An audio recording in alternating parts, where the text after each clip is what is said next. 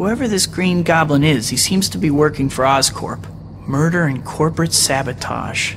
Harry would be devastated if he found out his dad was involved. I have to get to the bottom of this, and that means an unannounced visit to Oscorp.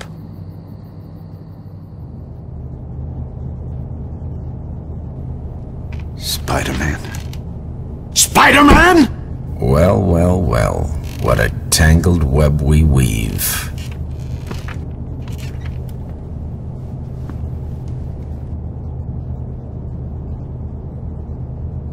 It seems I have a date tonight.